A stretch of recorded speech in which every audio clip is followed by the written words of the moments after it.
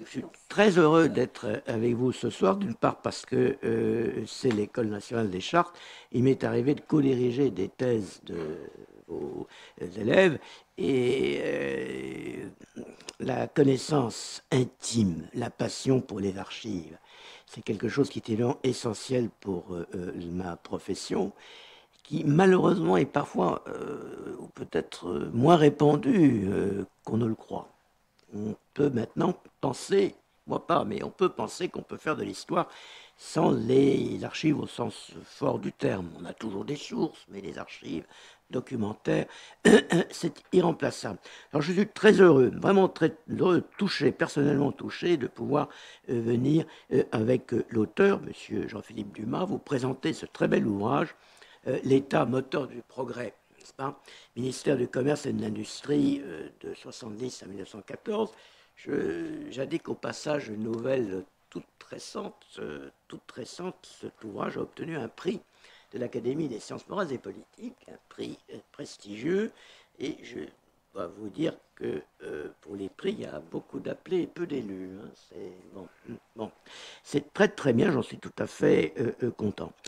Alors, l'importance de votre ouvrage est considérable et euh, je euh, souhaite qu'il soit largement euh, connu, au-delà même des milieux historiques spécialisés, n'est-ce pas? Car en fait, c'est tout un pan, vous l'avez très bien dit, madame, pas tellement d'ouvrages d'histoire économique et sociale, mais ça c'est un modèle, et c'est d'autre part tout un pan de l'histoire de la Troisième République, un pan absolument essentiel et trop peu euh, connu, que vous exhumez très largement et surtout que vous présentez euh, en même temps que vous, avez recours à tous les témoignages, toutes les sources, tous les documents de la façon la plus précise. En même temps, c'est parfaitement synthétique. Donc, on a aussi la vue d'ensemble qui se dégage euh, progressivement. Et je vais faire un certain nombre de remarques, puis ensuite nous échangeons entre nous pendant que la salle pourra euh, euh, bien entendu réfléchir à ces euh, questions. je dirais que c'est une réhabilitation de la Troisième République, ou une nouvelle pièce apportée au dossier de réhabilitation de la Troisième République. Je vais voir si vous permettez un peu d'eau, parce que la chaleur actuelle provoque un... Si ceci c'est extrêmement perfectionné, s'ils arrivaient à l'ouvrir, parce que je ne connais pas ce système. Ah oui, ah ben voilà, tout simplement, voilà, parfait. Merci pardon, merci, mais excusez-moi, mais je ne voudrais pas qu'il m'arrive ce qui est arrivé à la pauvre Madame May euh, l'autre jour, la canne de dos qui aura probablement les plus grandes conséquences de l'histoire européenne.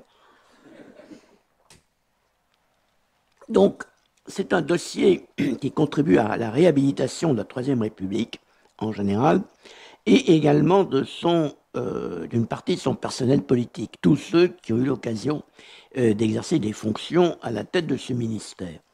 Euh, il y en a un certain nombre. On retrouve d'ailleurs des grands noms de la Troisième République. On n'hésitait pas à commencer par Gambetta, n'est-ce pas, à être ministre du Commerce, et puis du Commerce et de l'Industrie, quand le ministère euh, euh, prend ce, nouveau nom, n'est-ce pas, c'est considéré comme pas du tout, pas du tout une voie de garage, mais comme un élément essentiel dans une carrière politique. Et vous montrez très très bien également les hommes pas seulement les ministres, bien entendu, qui sont occupés de euh, tout cela. Alors, on se rend compte que euh, l'idée que l'on a trop souvent, les historiens savent que ce n'est pas exact, mais euh, je pense que beaucoup d'entre vous, avant de venir ce soir ici, pensaient que la Troisième République, c'était le laisser-faire, laisser-passer, et que l'État ne se préoccupait que fort peu du commerce intérieur ou du commerce extérieur ou de l'industrie. Et votre livre démontre admirablement que ce n'est pas le cas. Même si euh, ce n'est pas un système dirigiste, ça n'a rien à voir avec la situation qu'on a pu connaître après 1945 dans notre pays, l'État s'occupe constamment de ces euh, questions, il les suit, il les surveille, il impulse, quand il estime qu'il faut impulser, il n'hésite pas à le faire, et il établit les règles du jeu, les normes, comme on est aujourd'hui, dans toute une série euh, de domaines, avec la euh, plus grande attention. Alors, c'est le rôle de l'administration, c'est le rôle de l'État avec leurs ramifications dans les départements, dans l'ensemble du pays, mais c'est également le rôle de toute une série d'institutions euh, qui sont à la charnière entre le monde administratif, le monde politique et le monde de l'économie au sens large, à commencer par les chambres de commerce. Et vous montrez très bien la place et le rôle des chambres de commerce, euh, des plus importantes aux plus modestes, n'est-ce pas, dans euh, ce système, dans l'ensemble de ce système. Et là aussi, vous exhumez une des choses que l'on a tendance à, oublier. Vous euh, montrez très bien également euh, dans le domaine qui m'est le plus directement euh, proche, c'est-à-dire le commerce extérieur, vous montrez très bien comment est menée la politique douanière de la France, par quelles discussions entre les intéressés du monde de l'économie, les, le ministère, les parlementaires, parce que les lois douanières sont votées euh, par le Parlement. C'est une république parlementaire, c'est incontournable, avec les commissions euh, euh, spécialisées, et vous montrez très très bien ce mécanisme. On découvre d'ailleurs, chemin faisant, mais vous l'illustrez très bien, c'est pas totalement inconnu, mais c'est insuffisamment connu. on a tendance à, coller à cette période de notre politique douanière le terme de protectionniste. Euh, en fait, non, vous montrez que aussi bien euh, par rapport à la période précédente et surtout suivante, que par rapport aux euh, autres pays européens, sauf le Royaume-Uni et la Belgique, qui restent fidèles au libre-échange plus strict, la, France pratique certes une protection douanière, mais finalement en pourcentage, vous alignez des pourcentages, on ne va pas reprendre ici, en pourcentage beaucoup plus modeste que ce que l'on connaîtra après la Première Guerre mondiale et de nouveau un moment après la, Deuxième Guerre mondiale. Ce sont quelques pourcents. C'est jamais euh, comme ce qu'on a euh, connu euh, après la Deuxième Guerre mondiale, pendant longtemps, jusqu'au développement du marché commun européen, des taxes de 50% pour les automobiles, des taxes parfois 100% pour certains produits, etc. C'est tout à fait autre chose. Même le millénisme. Alors vous avez un excellent passage sur le ministre euh, euh, euh, Méline, accusé d'avoir... on a développé cette notion de protectionnisme en France autour du nom mélinisme, c'est-à-dire un système de protection de l'agriculture française, je dirais, aux dépens de nos intérêts exportateurs en matière industrielle ou Bien entendu, tout tarif douanier correspond des rétorsions ou des début de rétorsion de la part des pays partenaires. Euh, donc ce sont des équilibres extrêmement euh, complexes. Et le danger, si on favorise trop une branche, c'est que ce soit les autres branches exploitatrices euh, qui fassent les frais de l'opération. Vous relativisez le, le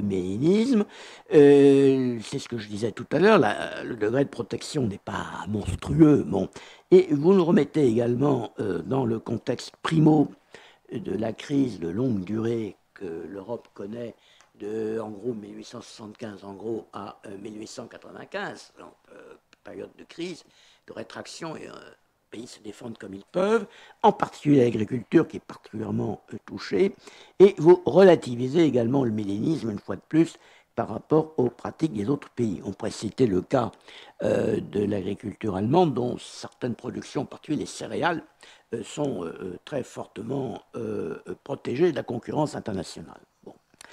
mais vous consacrez également des, chapitres, des, pages très nombreuses à quelque chose que l'on connaît moins, mon avis, que le commerce extérieur à l'époque, c'est le commerce intérieur. Et là aussi, c'est tout à fait passionnant de voir comment euh, sans intervenir, sans remettre en cause la liberté d'entreprendre, bien entendu le droit de propriété, etc.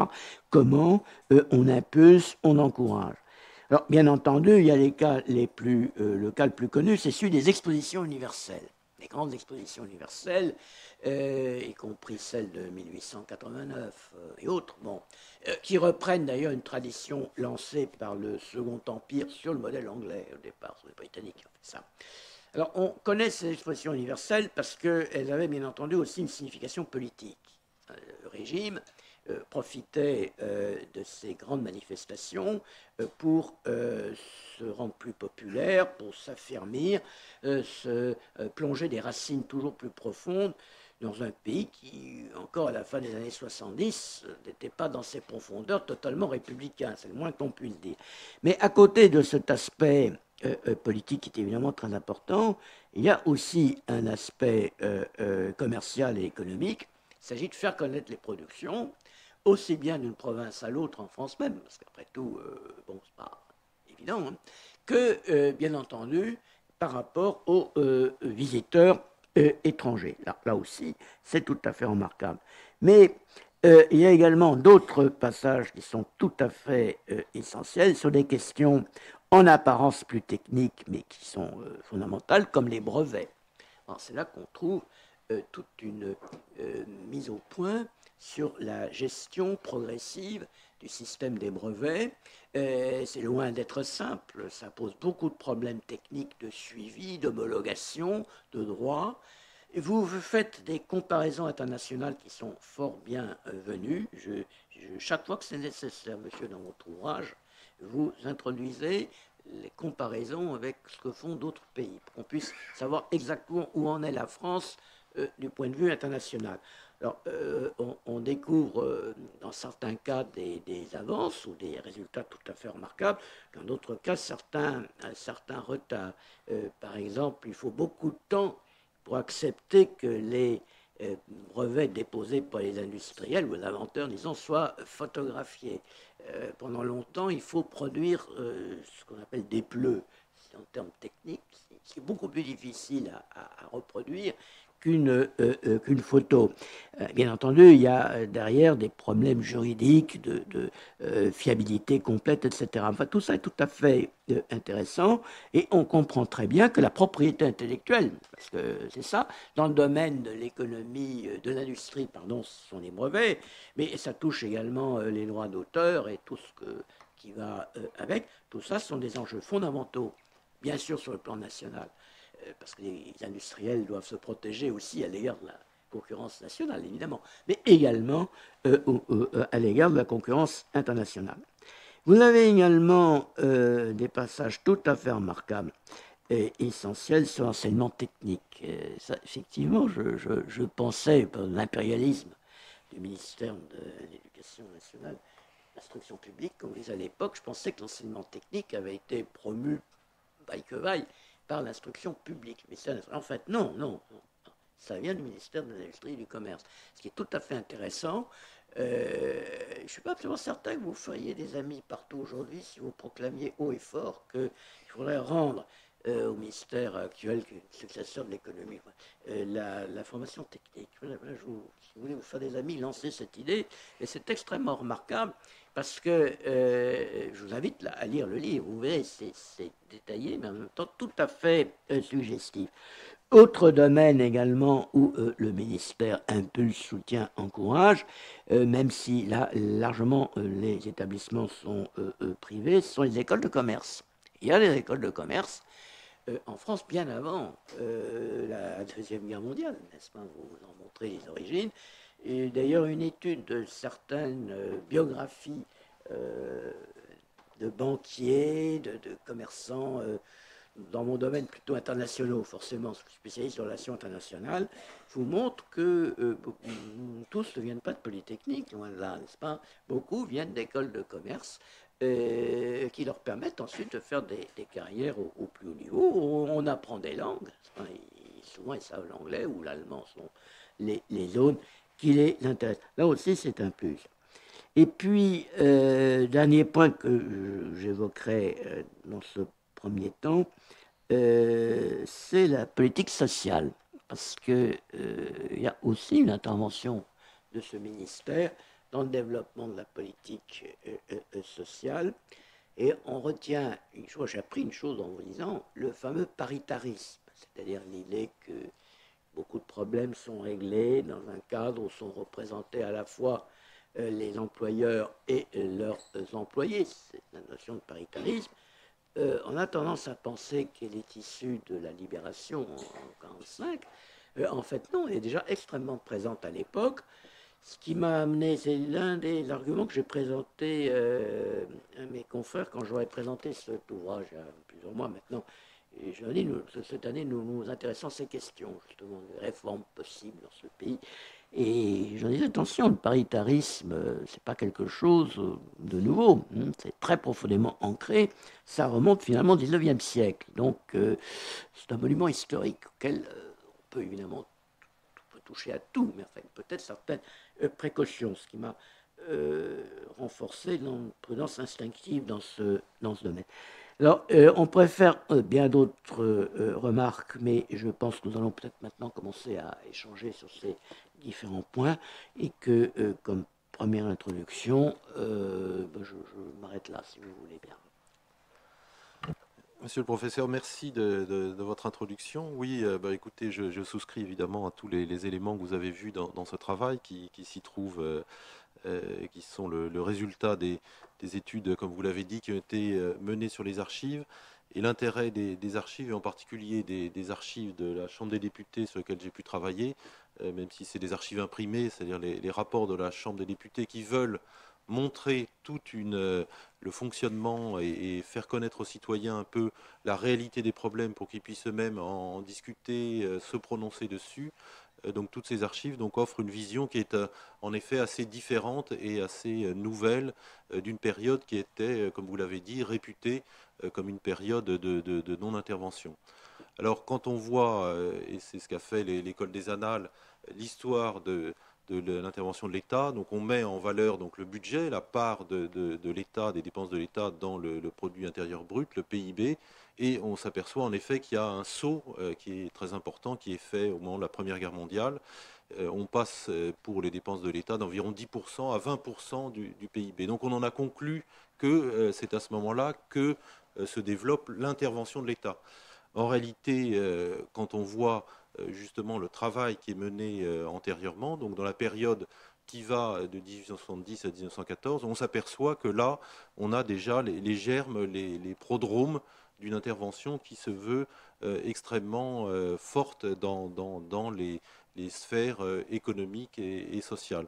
Alors, pour cette période, on peut trouver des institutions que tout le monde connaît aujourd'hui, mais qui font partie un peu d'une certaine façon de, de ce qu'on estime nécessaire dans ce pays. Vous prenez l'inspection du travail, par exemple, on n'imaginerait pas un État sans inspection du travail. Elle a été créée soit en 1874, soit en 1892. Les historiens en débattent, mais euh, forcément euh, euh, durant cette période. Le chômage, le fait qu'on doit s'occuper du chômage, ça remonte aussi à cette période. C'est en 1904 la création des, bureaux de placement, donc l'obligation pour les municipalités de s'occuper du problème du chômage.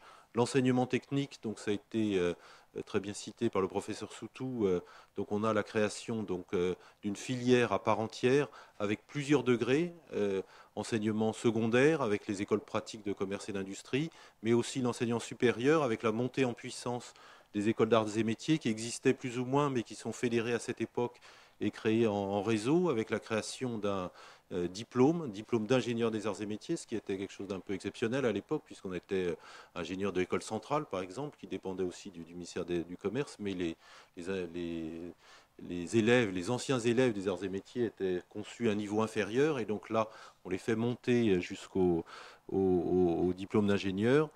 Et puis euh, aussi dans d'autres domaines, par exemple le, la naissance du logement social. Il y a des lois qui sont un peu euh, modestes à cette époque, mais qui sont quand même importantes, puisque c'est là où on met en place l'idée qu'il puisse y avoir un adossement euh, des sociétés de, logement sur la caisse des dépôts avec le système des facilités d'emprunt. Donc tout ça, c'est des, dispositifs qu'on connaît bien aujourd'hui, puisque tout le monde sait que le, livret A euh, vient aider comme ça le financement de, ce secteur du logement social.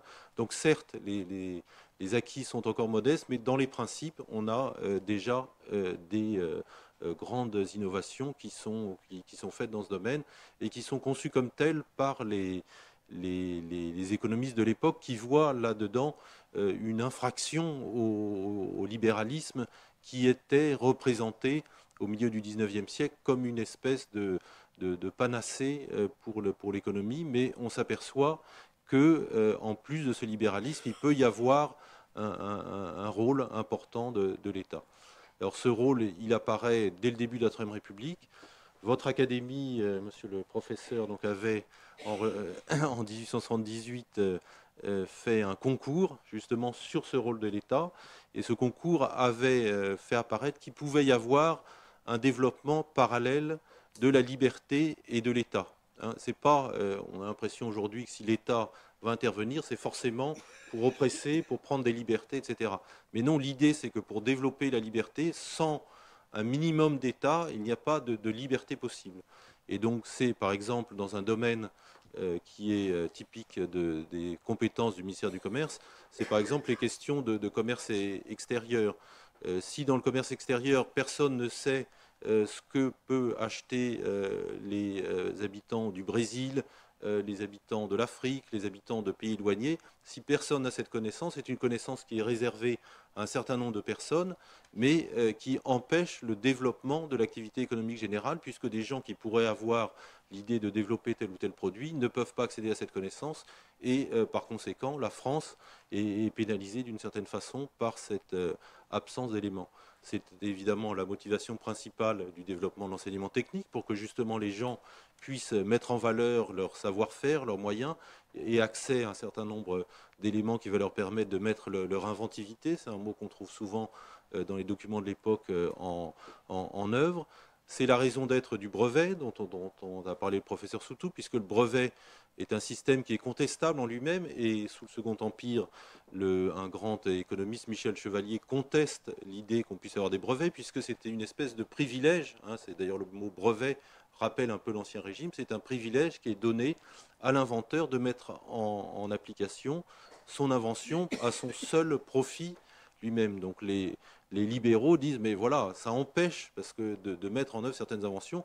Si le titulaire du brevet refuse de, laisser exploiter le brevet par quelqu'un d'autre, eh à ce moment-là, euh, le pays en tout entier se prive d'un certain nombre de, connaissances. Eh bien non, justement, il y a l'idée, et c'est euh, très développé euh, sous la, Troisième République, qu'il faut maintenir ce privilège, puisque c'est un facteur, on appelle ça à l'époque un facteur de, démocratisation, qui va aider les, ouvriers, contribuer à cette politique sociale dont parlait le professeur Soutou, pour avoir une unité un peu euh, nationale autour de, ces sujets, mais euh, il faut évidemment aider ça, éviter que l'invention s'oublie, et donc il y a tout un travail à faire pour publier les inventions, pour imprimer les brevets d'invention, pour permettre à chacun euh, de pouvoir exploiter ces brevets, d'y accéder librement, puisque à l'époque on se plaint que les Allemands sont très forts du point de vue de la publication des, brevets d'invention, et donc les euh, offices de documentation qui existent en France, de documentation technique, font surtout la publicité des brevets allemands au lieu de faire connaître les, inventions françaises. Donc pour que tout ça euh, fonctionne, il faut euh, évidemment qu'il y ait une action de, l'administration. Alors c'est valable dans le domaine économique, mais c'est valable aussi dans le domaine social. c'est à cette époque qu'a lieu une grande innovation, c'est la, loi euh, de 1898 sur les accidents du travail, euh, avec l'idée que, avec cette loi, on va permettre euh, donc aux, ouvriers qui subissent des accidents, qui auparavant étaient protégés par le droit civil, on l'oublie, le droit civil leur permettait une indemnisation, mais pour une indemnisation, il fallait qu'il y ait une responsabilité démontrée de l'employeur.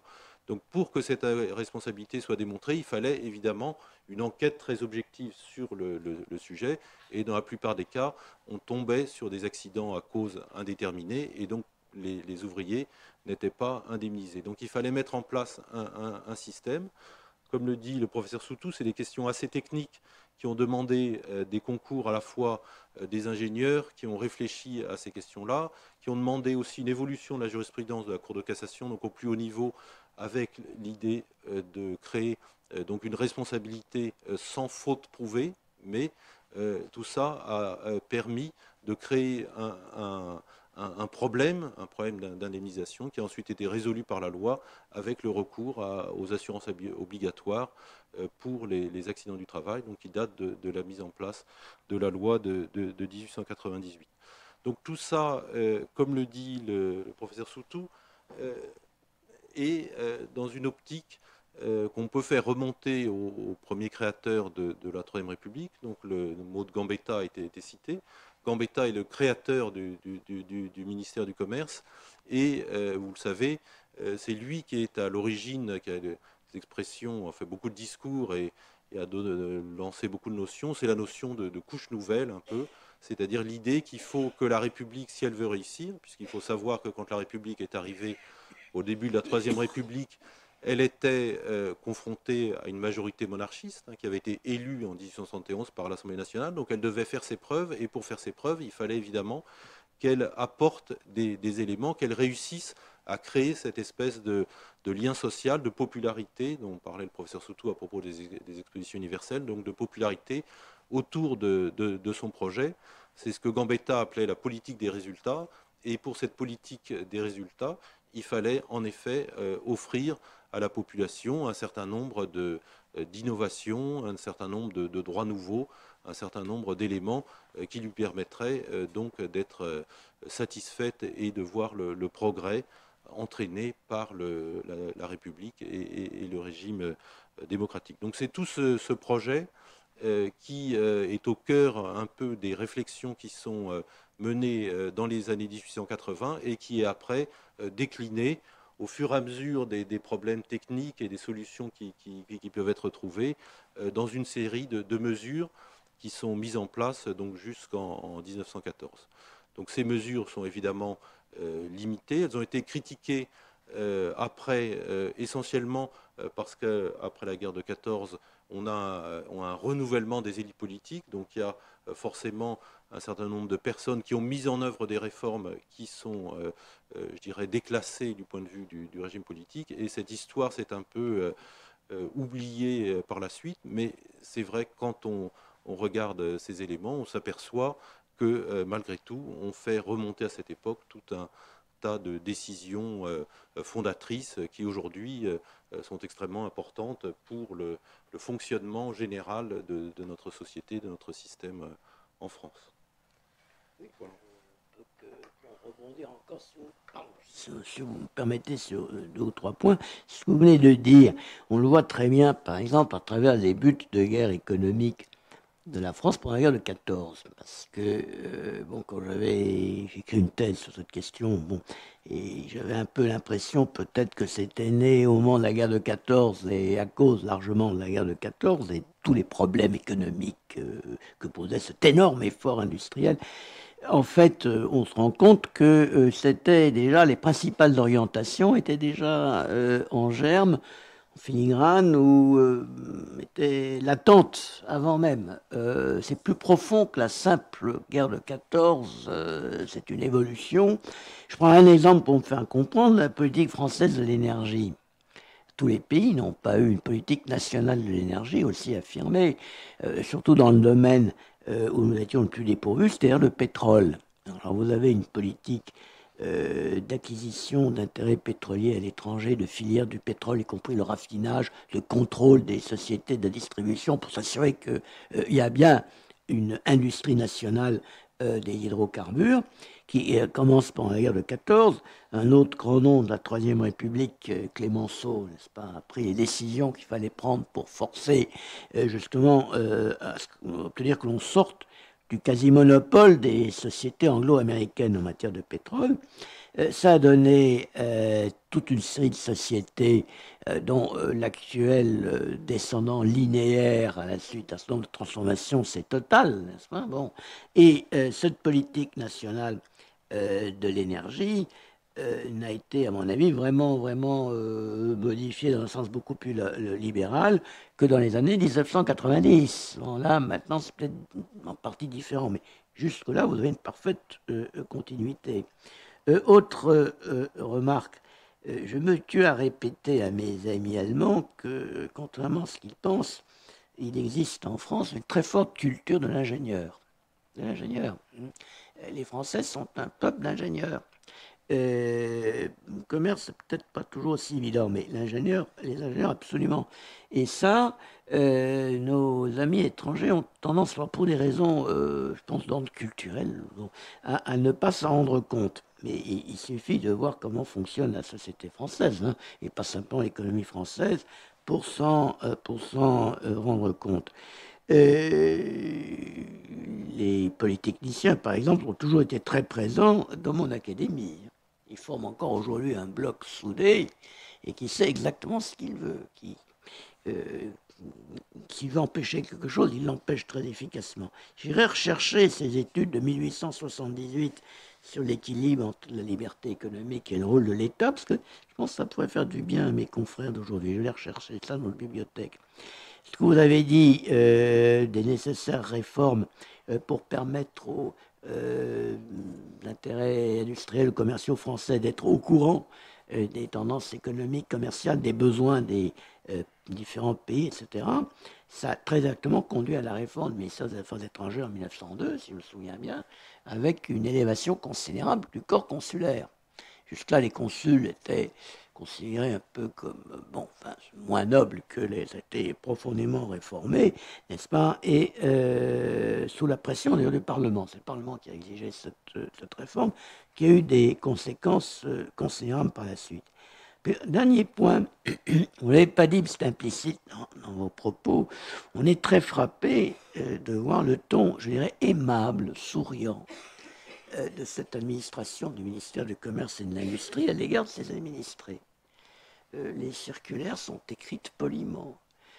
on s'adresse poliment aux gens, on prend contact avec eux. c'est très éloigné des coups de trick à la mode euh, peut-être aujourd'hui, dans certains secteurs d'administration, pas tous bien entendu. Voilà. C'est aussi une remarque qu'on peut faire. Euh, il y a une forme de sociabilité administrative. On, tient compte, ou en tout cas on fait semblant de s'intéresser aux besoins des administrés, n'est-ce pas Et on leur parle gentiment, euh, ce qui je pense est la moindre des choses. Hein. voilà, on va peut-être proposer à l'assistance, poser quelques je, je, peux répondre sur, sur, les éléments, puis après on laissera, parce que, comme vous dites des choses très, très intéressantes, j'ai hâte de, rebondir dessus avant de...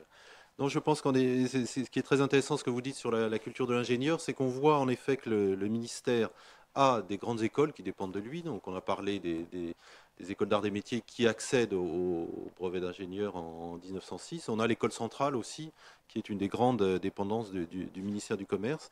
Et de fait, au euh, début de, la période, donc dans les années 1870-1880, alors que le ministère des Travaux publics, lui, a rattaché euh, des grands corps d'ingénieurs de l'État, ingénieurs des ponts et chaussées, etc., le ministère du Commerce, lui, se trouve, qui a été avant adossé au, ministère des, Travaux publics et qui se trouve indépendant, se retrouve dépourvu de, corps d'ingénieurs. Et donc là, il y a un vrai euh, difficultés techniques pour le, ministère, puisqu'il doit euh, s'occuper de questions extrêmement euh, complexes, des questions sociales en particulier, et que, qui demandent des compétences statistiques particulières. Et sur ce point, donc il a une difficulté à pouvoir agir dans, dans, ce domaine.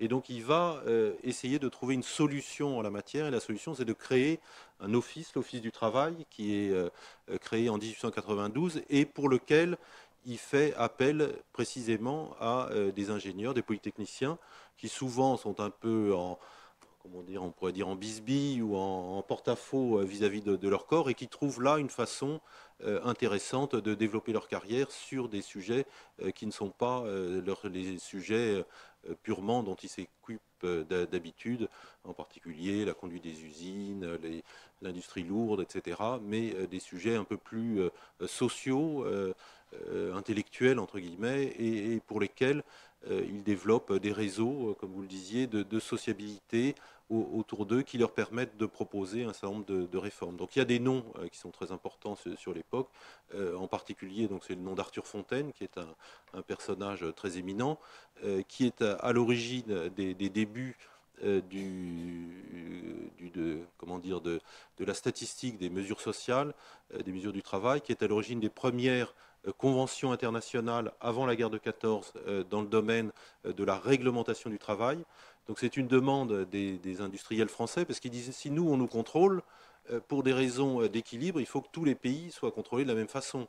Donc si on interdit certaines techniques qui permettent de faire des économies, ben, il faut les interdire dans tous les pays parce que sinon, donc voilà, donc il y a une forte demande, une forte pression.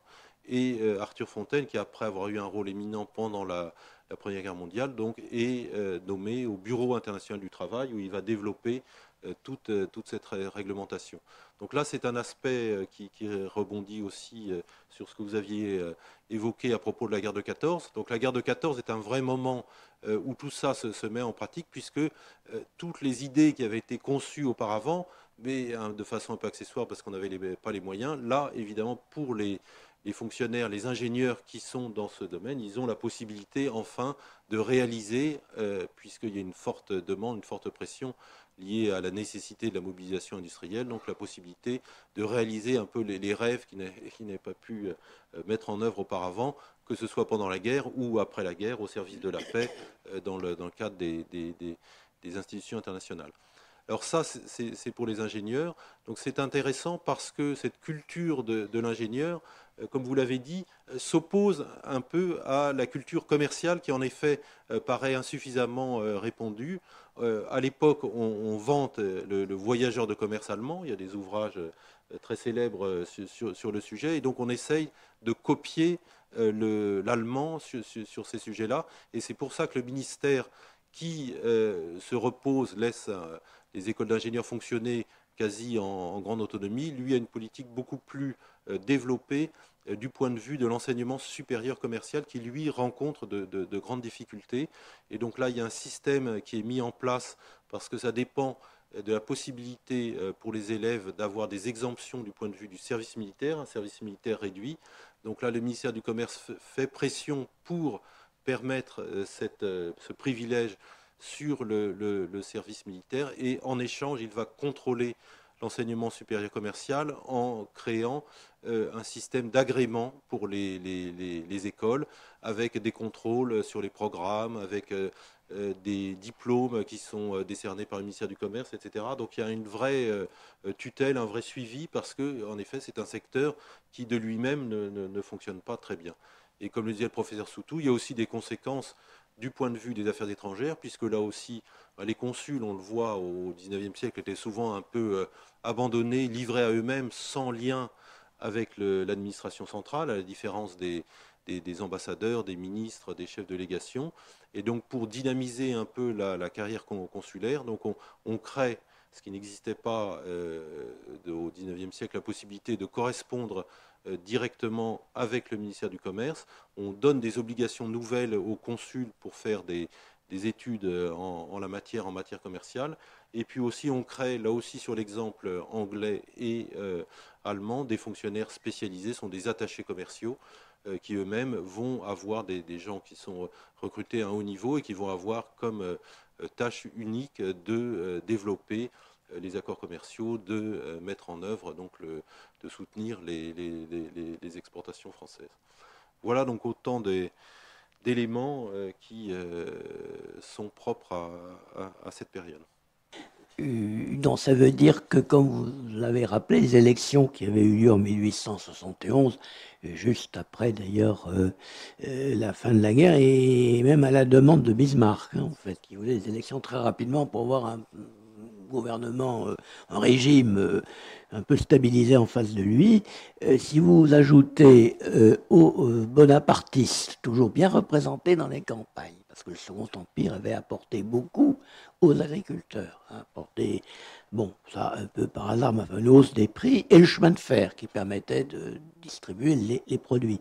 Si vous ajoutez à cela les royalistes, euh, je dirais, légitimistes, et les royalistes tendance euh, orléaniste, parce qu'ils étaient divisés euh, bon, en deux, ben, la, majorité, la totalité faisait que la majorité à la Chambre, elle est monarchique. Elle n'est pas royaliste, ni impérialiste, elle est monarchique incontestablement.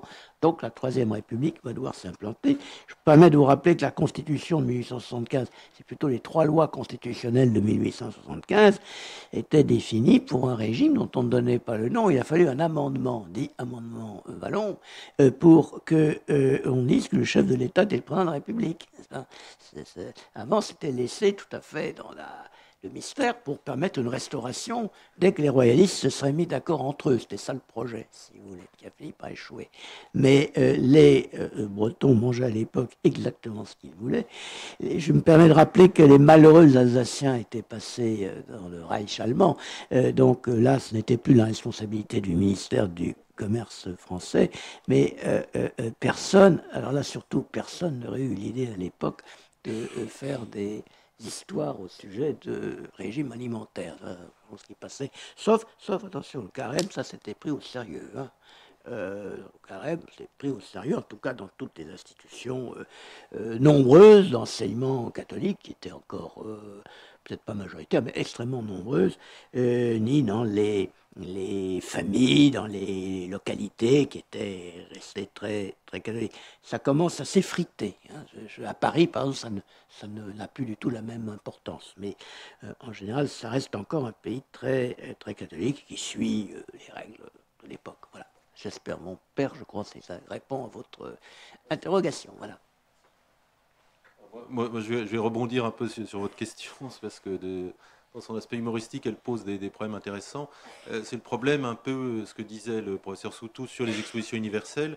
Le but des expositions universelles, c'est vraiment l'unification du marché intérieur. Donc c'est de permettre aux gens, puisqu'à l'époque on n'avait pas de presse illustrée, on n'avait évidemment pas de radio, de télévision, de choses comme ça. Donc les gens étaient un peu enfermés, euh, comme vous le soulignez avec humour dans votre question, dans leur environnement immédiat. Et donc euh, le rôle des expositions devait permettre de faire connaître des, produits et aussi de créer ce qu'on appelait des, hiérarchies utiles aux citoyens. C'est les fameuses petites médailles qu'on délivrait euh, lors des expositions, mais qui étaient prises euh, très au sérieux, puisque à l'époque où on n'avait pas justement la presse qui vous donnait, recommandait un produit ou un autre, la publicité qui mettait en valeur un produit ou un autre, c'était cette forme de, consécration administrative qui permettait de donner une renommée euh, particulière à, des produits. Donc ça faisait partie des, éléments. Et pour prendre un exemple que j'ai étudié, parce que je trouvais cette illustration intéressante, par exemple pour l'exposition euh, de Bruxelles en 1910, donc il y a tout un travail qui est fait pour mettre en valeur le vin de Bourgogne, donc des produits agricoles classiques, mais qui j'imagine depuis Charles le Téméraire devait intéresser un peu dans les régions des Flandres peut-être. Alors, un point aussi particulier donc, sur la question euh, euh, des, fraudes alimentaires. Donc ça, c'est un sujet qui est aussi très important euh, pour, la période, parce que il y a une grande loi qui est votée en 1905 sur ce sujet. Donc cette loi a pour les commerçants un, double aspect. le premier, c'est évidemment une loi un peu inquisitrice, donc les commerçants sont contre au début, parce que évidemment, c'est eux qui sont toujours, les, on les accuse d'être toujours responsables un peu de, tout, de tous les fraudes, d'être des, voleurs et autres, etc. Euh, Mercure, dieu du commerce et, des voleurs, comme, on dit parfois. Euh, donc les commerçants se méfient un peu de ça, mais euh, ils ont peur d'être mis en, comme des boucs émissaires par les agriculteurs qui ne font que des bons produits et qui sont après siphonnés, trafiqués par les, les commerçants, mais ils voient aussi un intérêt à, la, chose c'est évidemment en luttant contre les fraudes, donc de permettre de développer le, commerce, puisque si ça crée une espèce de garantie euh, pour les, consommateurs, du coup, ben, le consommateur va avoir euh, confiance pour acheter des produits qui viennent de loin, et donc ça va faciliter euh, les échanges commerciaux, les, transactions commerciales qui se font à l'époque pour certains produits de, luxe au niveau national, mais aussi au niveau international, et donc permettre le développement de, de, ce type de commerce. Je, précise, euh, pas tout fait dans votre sens, quand en 1841 ouvre à Paris le premier euh, magasin, disons épicerie fine de produits provençaux? Bon. Euh, euh, euh, Balzac en fait toute une tartine, si j'ose dire. Enfin bon, et, il publie ça parce que ça, intéresse, ça n'existait pas, moi je ne connaissais pas. Et tout à fait entre nous, je connais bien la Touraine. Hein. À la fin des années 60, au début des années 70, encore au début des années 70, dans une petite ville tout à fait normale et plutôt prospère à l'époque, en tout cas de Touraine, vous n'aviez que des produits locaux, hein, y compris des fromages. Vous ne pouvez pas trouver le fromage d'autres pas trouver le vin d'autres régions. Hein. Pour ça, il fallait aller à Tours si on voulait quelque chose d'autre. Le poisson venait de la côte la plus proche et c'est tout. Euh, les gens vivaient des produits vraiment de la région. Et je pense que l'on pourrait élargir cette remarque à la Savoie, que je connais aussi un peu. Et, cette espèce de capacité, euh, possibilité que nous avons maintenant de goûter un peu tout, sans parler bien entendu des autres continents, éventuellement des autres pays, c'est quelque chose qui était euh, totalement inconnu euh, à l'époque dont nous, parlons. D'où l'importance de faire connaître. Si vous prenez les, romans d'Alphonse Daudet, par exemple, ils sont bons, les, les romans d'Alphonse Daudet, ils sont tout à fait intéressants. Mais une bonne partie, finalement, revient à faire connaître la Provence et ses productions aussi, n'est-ce bon y compris les fameux repas de Noël. Enfin, c'est ça. Alors, ça, ça, fait partie des éléments qui sont justement traités dans l'ouvrage, parce que la question que vous posez, c'est typiquement la question qu'on s'est posée dans ces années-là. C'était comment évaluer un peu l'importance de, la production française.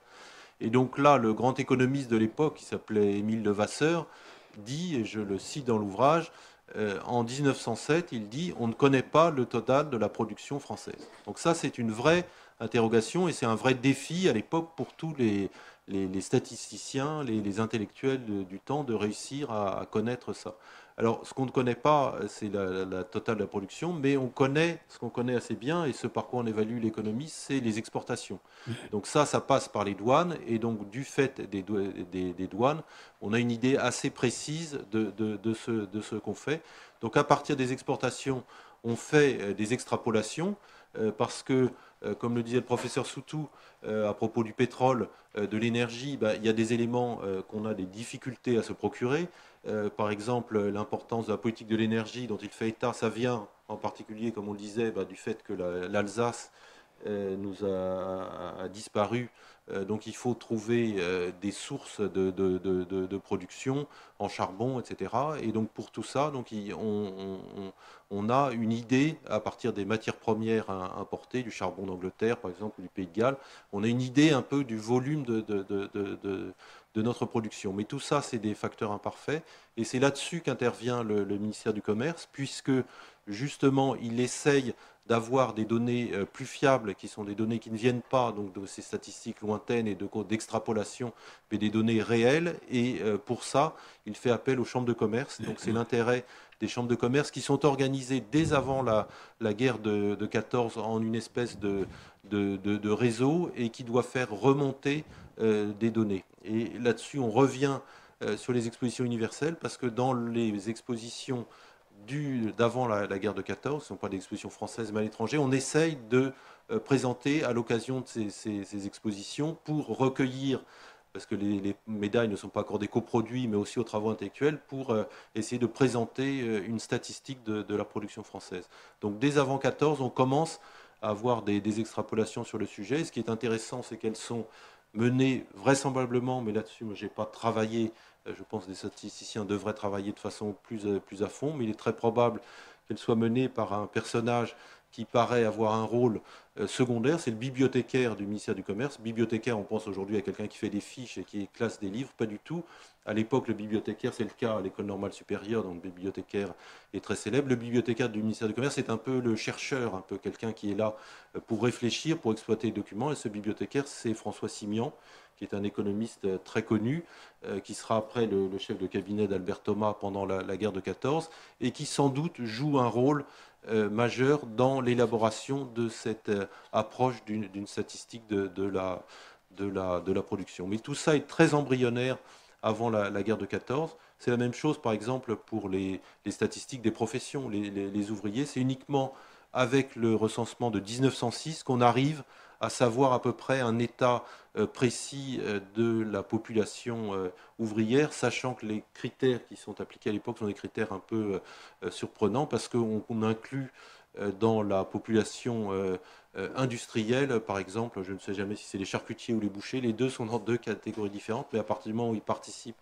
à la transformation d'une matière première, ils sont considérés eux-mêmes comme industriels, qui est une façon un peu de noyer, pour des raisons politiques, évidemment, le problème ouvrier dans une catégorie un peu plus large de, la population. Donc tout ça, c'est des, des, problèmes qu'on commence à se poser euh, à, cette période, parce qu'en effet, on a le sentiment qu'ils sont absolument déterminants euh, pour connaître l'évolution euh, précise de, l'économie et avoir une politique qui soit totalement adaptée aux besoins de, de l'industrie tout à fait d'accord avec vous. J'ajouterais d'ailleurs que ces histoires de PNB euh, commençaient à être vraiment euh, formalisées et portées à la connaissance du public qu'en France, dans les années 50, voire 60. Hein.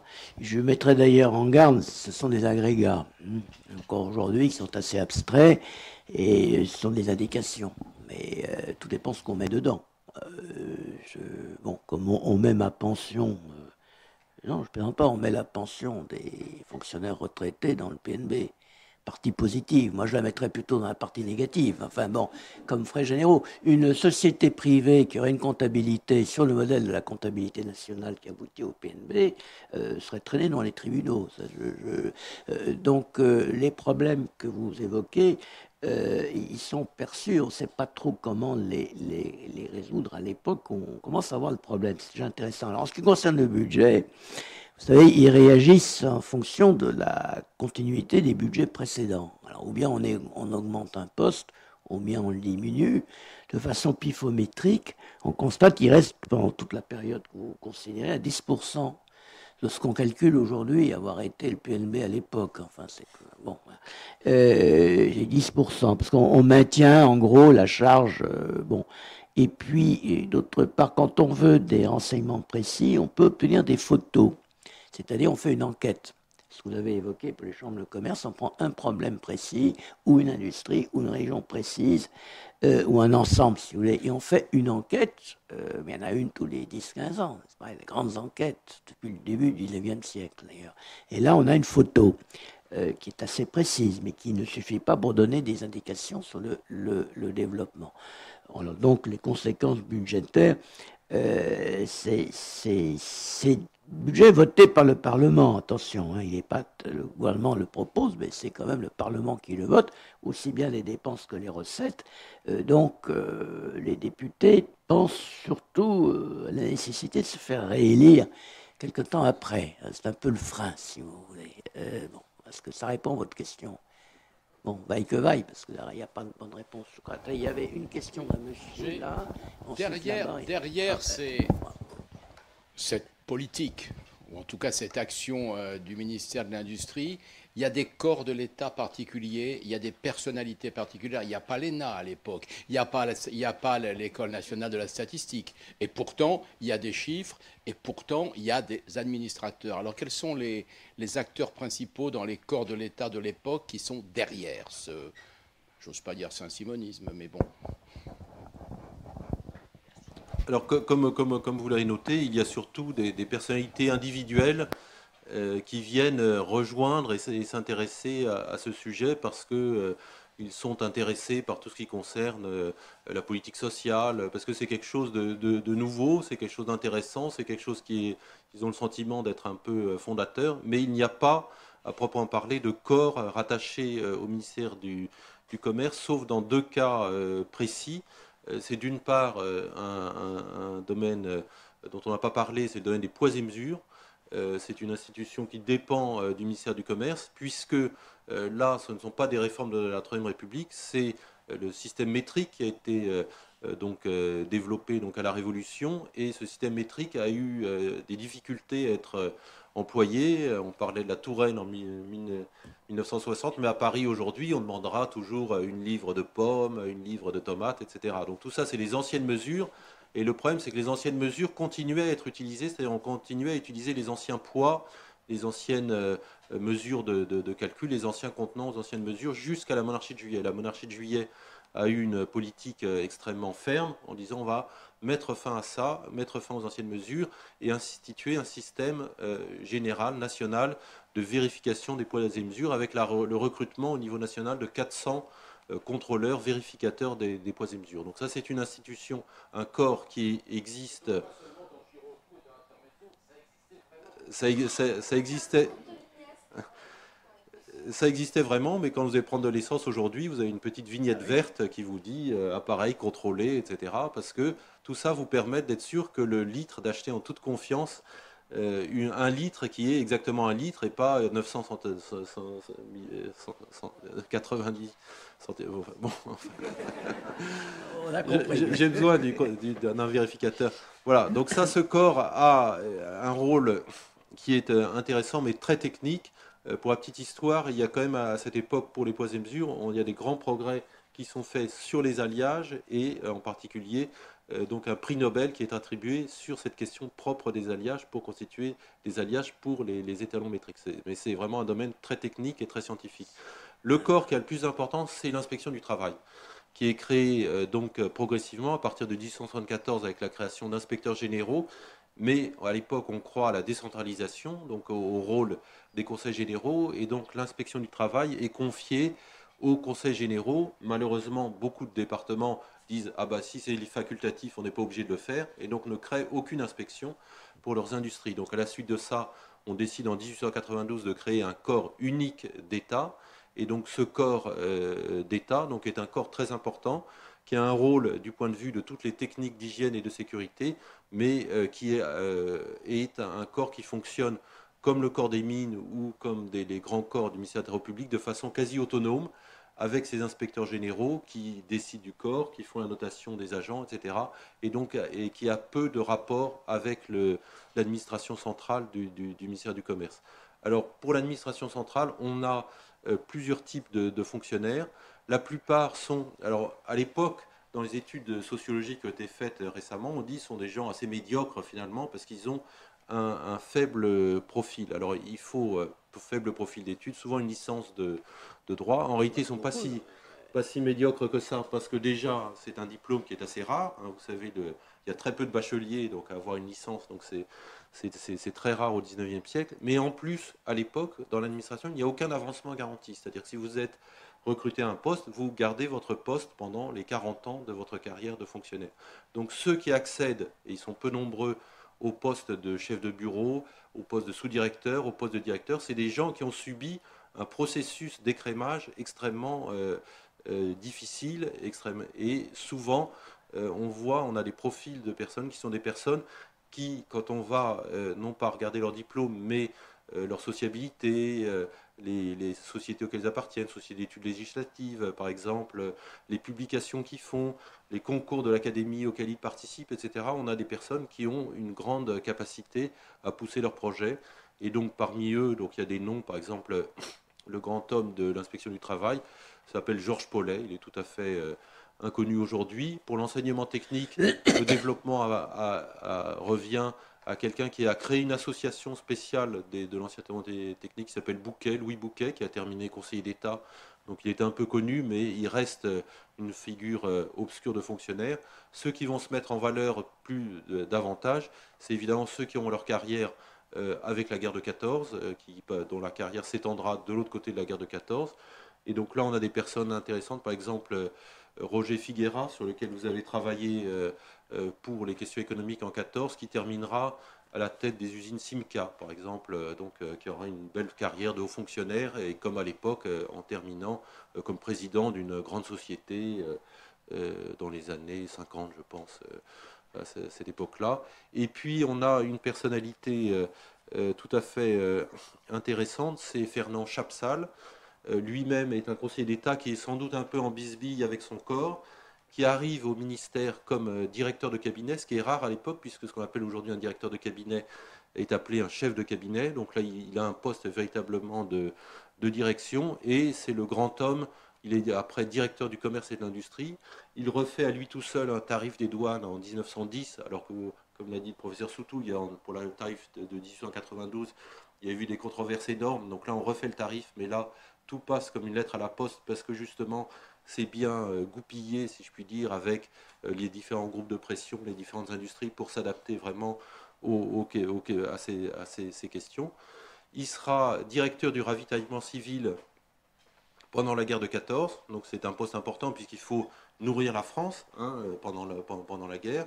Comme collaborateur, il aura, et vous avez une photo assez intéressante dans le livre, où on le voit avec un de ses jeunes collaborateurs, Jean Monnet, qui est à l'époque au service du ravitaillement, lui, euh, à, Londres, mais euh, qui est en photo sur le, livre avec euh, Fernand Japsal, qui était son directeur.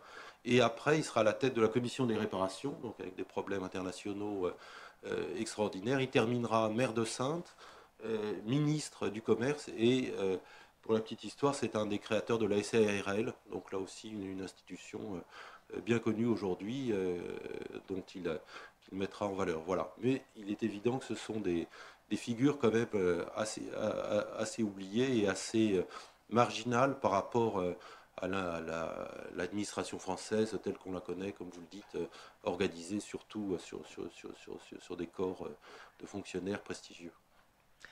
Il y avait, monsieur avait posé une question, mais il me semble que monsieur avait une question. Alors allez-y, profitez de l'occasion. Ensuite, monsieur, ensuite, je crois, il y avait une autre personne.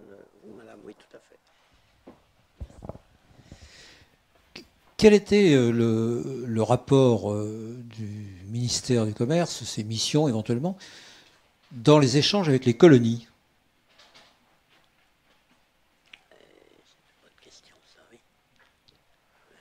Alors, les, colonies, donc le ministère du Commerce s'occupait des rapports avec l'étranger, à ma connaissance. Hein, donc les traités de commerce qui étaient faits avec l'étranger. Avec les colonies, il y avait une administration particulière donc qui s'occupait du, tarif euh, colonial pour, le, pour, pour les colonies. Donc ce n'était pas un domaine qui dépendait à proprement parler du ministère du Commerce. Euh, simplement, euh, pour revenir au début de la période, donc ce qui était intéressant, c'est que les colonies au début de la République dépendaient du ministère de la Marine. Et en Indochine, par exemple, c'était des amiraux qui étaient responsables de, cette gestion. Donc dès que les républicains arrivent au pouvoir en 1819, il y a l'idée de créer une administration civile pour les colonies.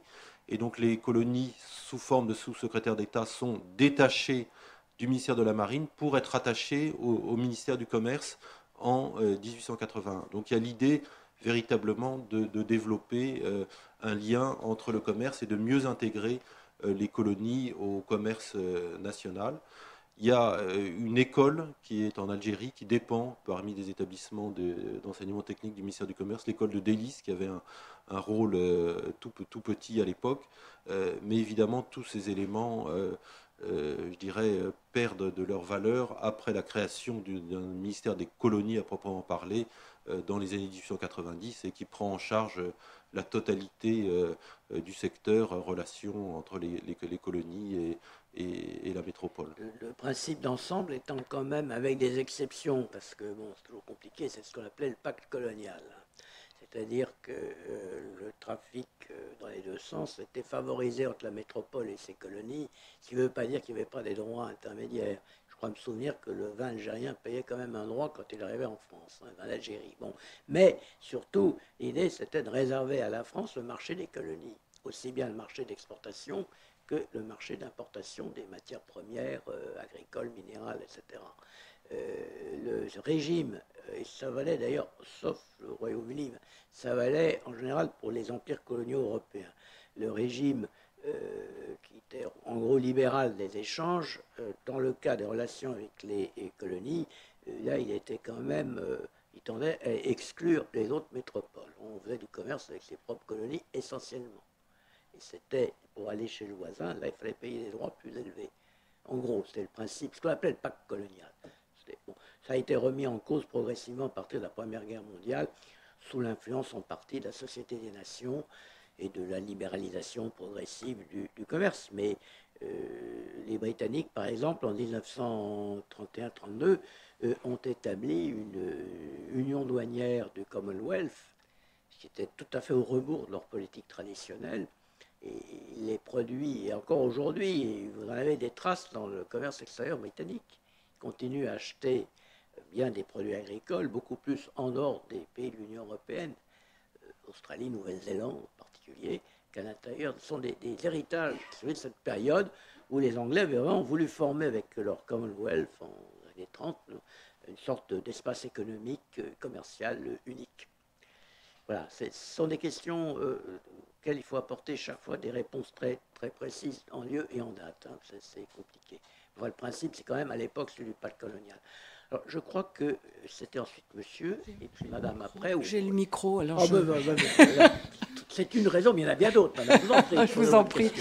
Euh, j'aurais voulu poser une question sur le positionnement du, du ministère du Commerce et de l'Industrie vis-à-vis des chambres de commerce, justement qui, euh, enfin bon, si j'en juge par l'exemple d'un département que je connais bien, qui est celui du Nord, alors évidemment c'est un département peut-être un peu spécial, mais euh, était de véritable puissance à l'époque. Euh, qui avaient leur propre politique en matière industrielle et commerciale, qui avaient créé des écoles, qui organisaient des expositions universelles ou tout au moins euh, européennes, qui, correspondaient avec euh, les chambres de commerce et d'industrie du, monde entier. Hein. je, enfin, si j'en juge par les archives hein, que je connais bien. Donc, presque un contre-pouvoir, enfin, dans le domaine commercial et industriel. Alors, je je ne vois pas très bien le lien entre le ministère et les chambres de commerce. Alors, euh, vous avez tout à fait raison de poser cette question, parce qu'en effet, le, problème se, pose, et il était posé, à l'époque, surtout au début de la période républicaine, où euh, dans les années 1880, justement, où on se pose la question du positionnement des chambres de commerce, en particulier, parce que comme vous l'avez souligné, il y a des grandes notabilités, et ces notabilités avaient, c'est peut-être le cas dans le Nord, qui n'est pas un département réputé très, très en avance à l'époque pour... Oui, mais pour, pour, les, pour les questions sociales, si je fais référence ah, aux opinions d'industriels comme Eugène Motte, par exemple, qui était peut-être pas le, le, plus, le plus en pointe du point de vue de la, du, développement de la législation sociale.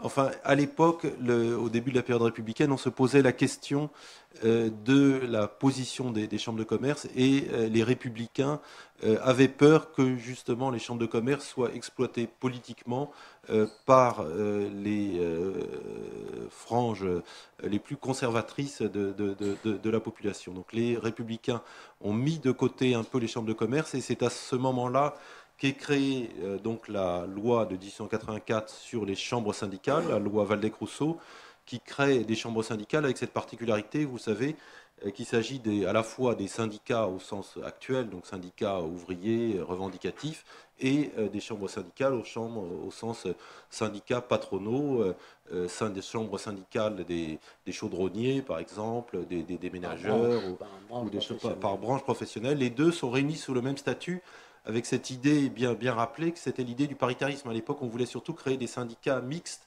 ouvriers, patrons, ce qui évidemment était euh, un, échec. Donc dans les années 1880, les républicains mettent clairement en avant euh, les euh, chambres syndicales comme un contre-pouvoir par rapport aux chambres de commerce pour s'appuyer sur des gens qui seraient plus novateurs, moins conservateurs du point de vue, moins attachés à la, préservation de, de, leurs privilèges. Ça dure peu de temps. Euh, en particulier à partir du, vote du tarif Méline. Là, euh, c'est le moment de réconciliation, un peu de fusion, et euh, à partir de ce moment-là, les républicains qui étaient réservés vis-à-vis des chambres de commerce s'intéressent au contraire énormément aux, chambres de commerce. Et donc il y a une loi qui est votée, qui est la loi de 1898, à la demande des chambres de commerce, mais avec l'appui du ministère du Commerce, parce que c'est une loi qui va permettre justement de développer ces chambres de commerce comme un appui, comme un, élément, une structure sur lequel le ministère du Commerce va s'appuyer, avec un élément, c'est que les chambres de commerce ont une particularité, elles ont la possibilité de se financer elles-mêmes avec le prélèvement de ce qu'on appelle des centimes additionnels sur les patentes, donc d'avoir elles-mêmes des ressources, des ressources que n'a pas le ministère du Commerce au moment où, justement, pour des raisons budgétaires, même si son budget augmente euh, il double ou il triple au cours de la période. C'est un budget qui reste relativement réduit et on est content pour l'État, comme on était content par la décentralisation de faire payer l'inspection du travail par les conseils généraux, on est content de faire payer toutes sortes de nouveaux équipements par les chambres de commerce. Et la réconciliation va jusqu'à la loi de 1908 qui modifie l'électorat des chambres de commerce euh, il y avait des plaintes des petits commerçants qui se plaignaient de ne pas être représentés euh, dans les chambres de commerce, donc on leur permet d'être représentés, mais la loi est suffisamment bien faite pour permettre aux euh, gros commerçants de maintenir leur pouvoir, leur emprise sur les, chambres de commerce et de réussir comme ça à maintenir leur position. Mais comme vous le dites, les chambres de commerce sont absolument essentielles. La politique de l'enseignement supérieur de commerce s'appuie à 100% sur les chambres de commerce. La politique du commerce extérieur, qui est une des grandes nouveautés de l'époque, s'appuie sur un office national du commerce extérieur euh, qui, est subventionné, qui est financé quasi euh, uniquement euh, par la Chambre de commerce de Paris, qui met beaucoup de moyens pour cet élément. Donc les chambres de commerce sont vraiment, comme vous dites, une espèce d'État dans l'État en, la matière, sur lequel le ministère s'appuie constamment dans, à peu près tous ces éléments. pas du tout en même temps que, si j'ose la question de madame euh, est tout à fait légitime, parce que le Nord, enfin, la, France de l'époque euh, est moins unifiée euh, que ne l'est maintenant. Le patronat du Nord, les industries du Nord ont leurs spécificités, je dirais, familiales, sociales. C'est un patronat qui a été très sensible à l'enseignement disons, social chrétien à l'époque, bon, euh, avec d'ailleurs un institut catholique euh, de, Lille qui est, une des grandes sources de réflexion dans ce domaine, avec des familles. Euh, et alors là, des familles qui se font entendre jusqu'à Paris. Enfin, des réseaux familiaux qu'il faut connaître. Il faut aller regarder qui est cousin de qui, etc., qui a épousé qui. Non, c'est tout à fait intéressant, tout à fait capital. Et là, effectivement, euh, ce sont, disons, des puissances qui, se, qui se, sont en relation, je dirais, dialectique, parce qu'elles ont besoin l'une de l'autre, bien entendu. Bon.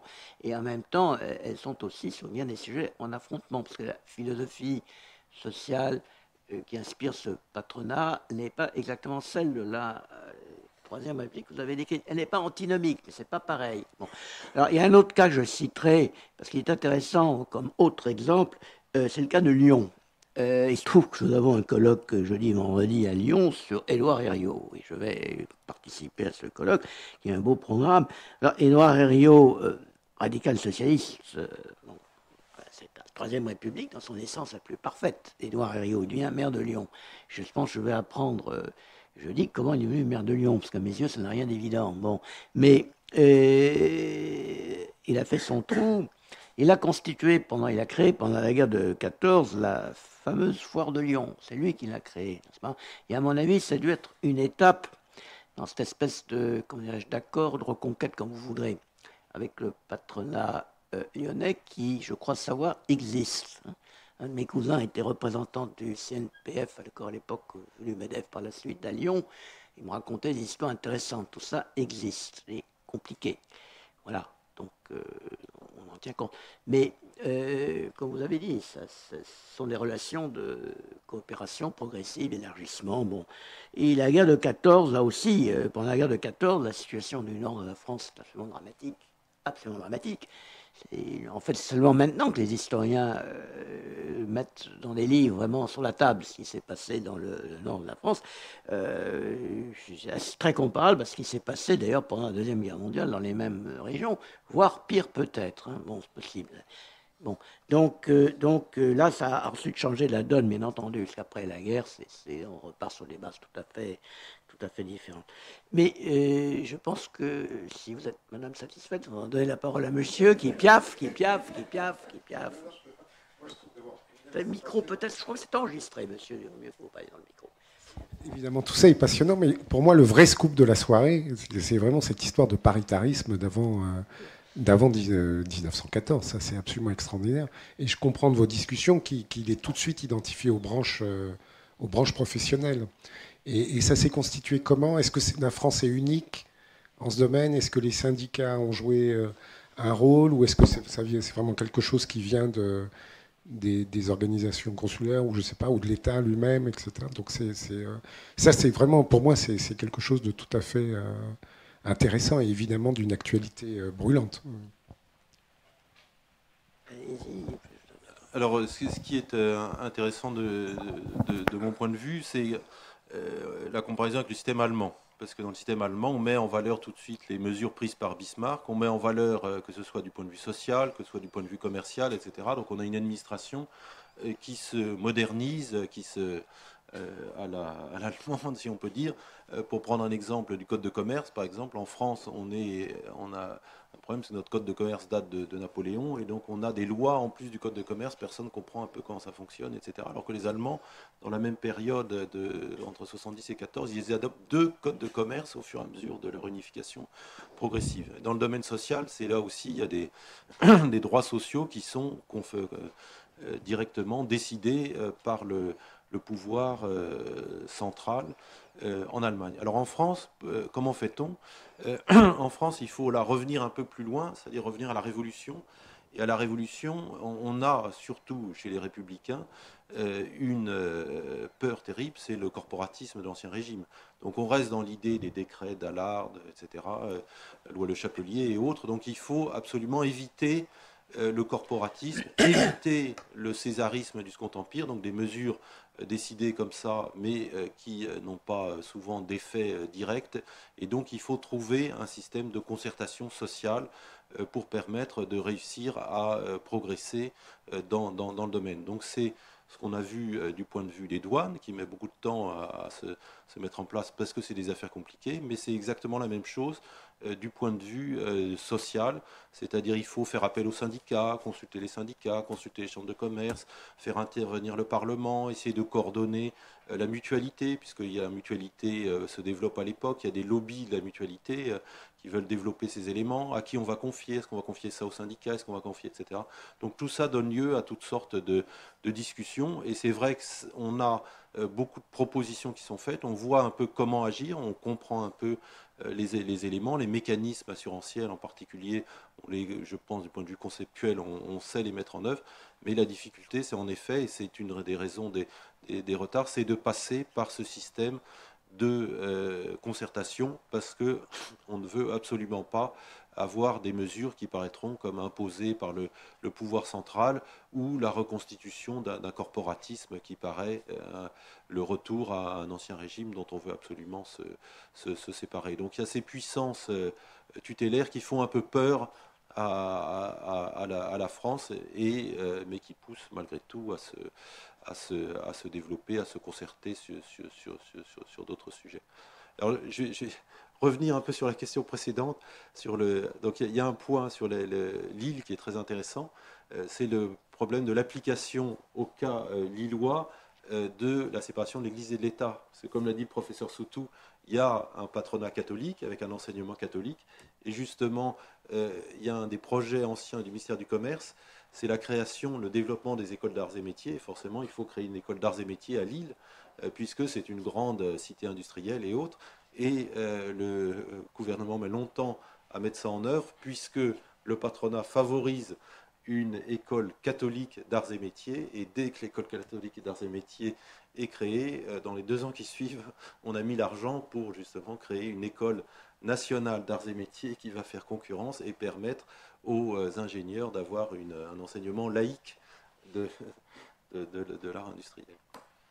Juste une, remarque, euh, le paritarisme qui vous a frappé, monsieur, n'est-ce pas Effectivement, c'est euh, le système de Bismarck.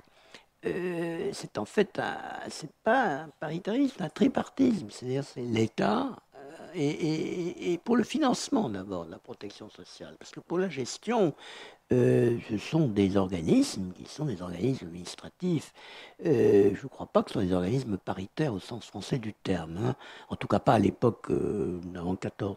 Et l'État, par exemple, pour la la retraite, euh, les pensions, euh, les maladies, etc., enfin, toute la protection sociale de Bismarck, l'État met un tiers, le patronat met un tiers par cotisation patronale et les employés un tiers par prélèvement sur leur euh, salaire. Pas bon, confondu d'ailleurs avec l'impôt, hein, c'est un ensemble. Enfin bon, masse total qui disparaît d'un coup, bon, et à la source dès le départ.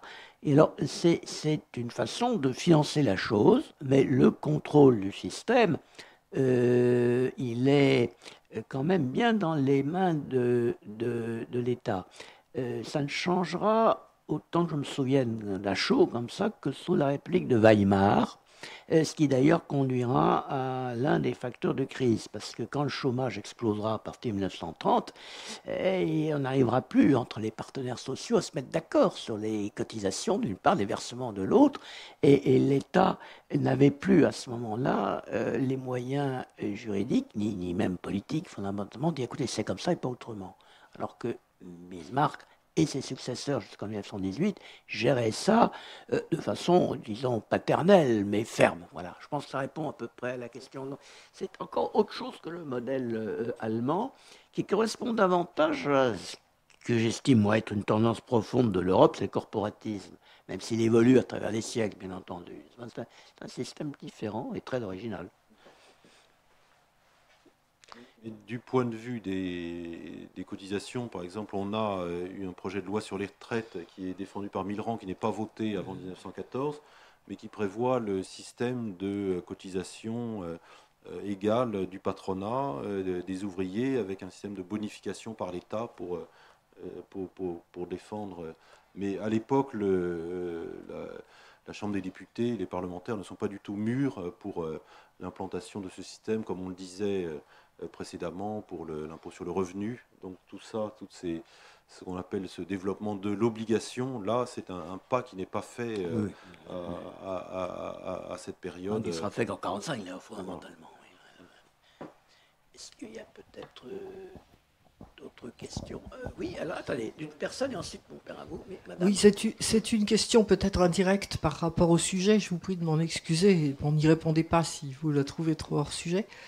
Elle concerne le rapprochement franco-russe à cette même période. Donc on en connaît bien les raisons politiques, mais est-ce que le ministère du Commerce et de l'Industrie, dont vous avez euh, évoqué euh, la politique de développement du commerce extérieur, avait des vues particulières en la matière? Est-ce que finalement l'économie a joué un rôle comparable aux causes, les causes économiques, disons, ont été aussi importantes que les causes politiques?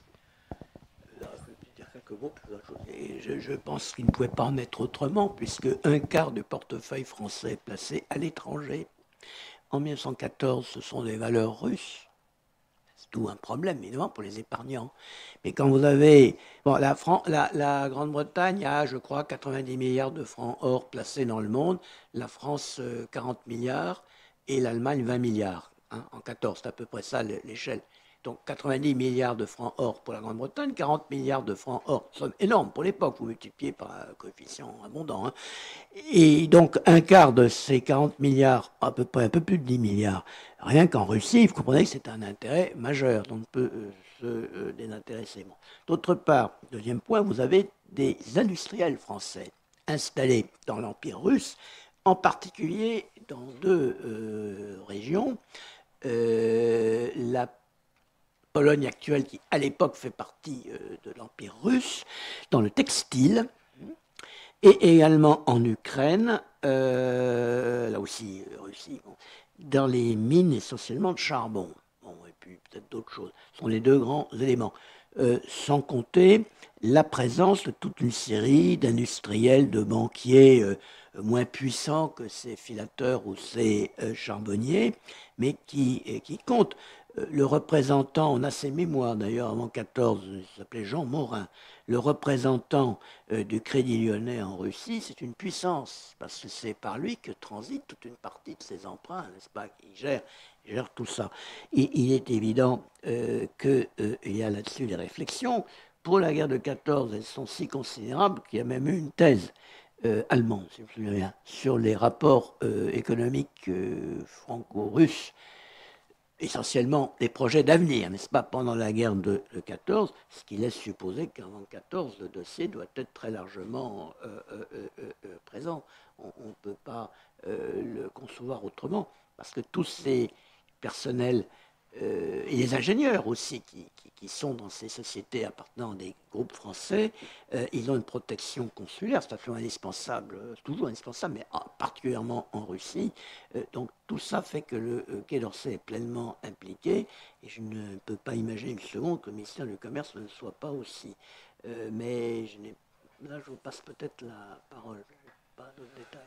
Oui, alors Pardon, c'était justement là ma question, c'est-à-dire euh, finalement, est-ce que c'est le ministère du Commerce qui a encouragé ces investissements à un certain moment, à, un moment ou à un autre?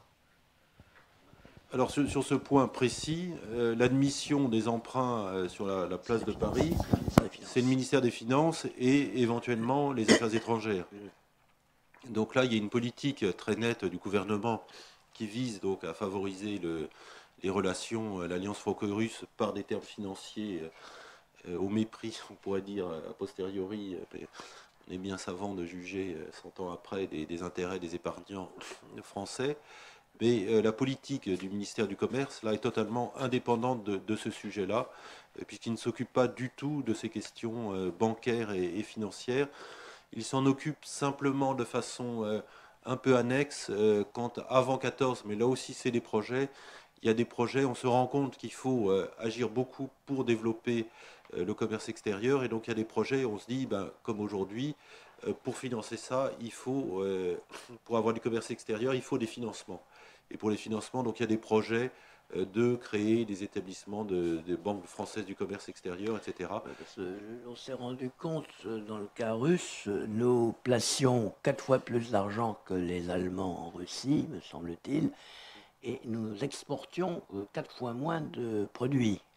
Et certains disaient, les Allemands font des affaires en Russie avec notre argent français, ce n'est pas faux, hein, c'était assez, exact. Alors ça, ces réflexions apparaissent quand même euh, assez tôt, parce qu'elles sont évidentes. Les chiffres des douanes hein, sont tout à fait clairs. Voilà. Et donc là, la difficulté, c'est comme on le disait, c'est sûr que l'éloignement ne facilite pas forcément le, commerce. On essaie de le développer d'abord avec nos voisins. C'est l'intérêt, comme on le disait, des colonies, par exemple.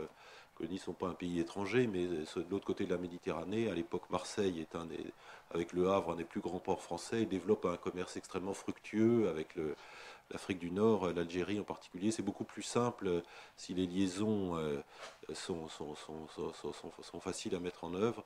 Et une des difficultés à l'époque, on n'en a pas parlé, c'est le, les difficultés de la, de la marine marchande française. Donc euh, les liaisons avec la Russie euh, devaient passer, si elles devaient passer soit par des navires anglais, soit par des ports qui étaient des ports belges, et évidemment étaient beaucoup plus euh, compliqués euh, à mettre en œuvre que des relations directes euh, au sein du, système colonial. Madame, satisfaite? Bon. Mon père, s'il vous plaît. Alors une question peut-être. vous avez dit que tout le monde était gentil dans le ministère. Est-ce que c'est quelque chose de vraiment solide qui est fondé sur le respect de l'autre et puis euh, etc. Ou est-ce que ça vient d'une personne qui a imposé ça ou si c'est une culture euh, qui était à l'époque de, respecter les autres, pas seulement dans le ministère?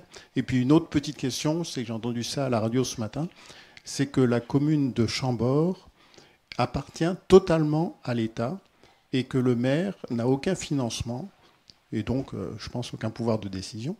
Alors ça, est-ce que ça vient de la Troisième République? Est-ce que c'est une bizarrerie française ou euh, je ne sais pas.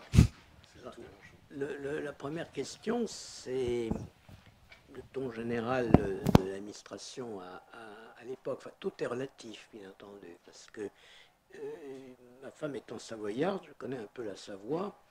Et il y a des musées, des endroits d'exposition où vous voyez très bien des affiches de l'administration sarde avant 1860 et des affiches de l'administration française impériale euh, dès l'automne 1860, juste après le rattachement. Pas? Bon. Alors là, c'est absolument étonnant. 1860, euh, 1859, une affiche, euh, nouvelle nouveau règlement pour les propriétaires terriens.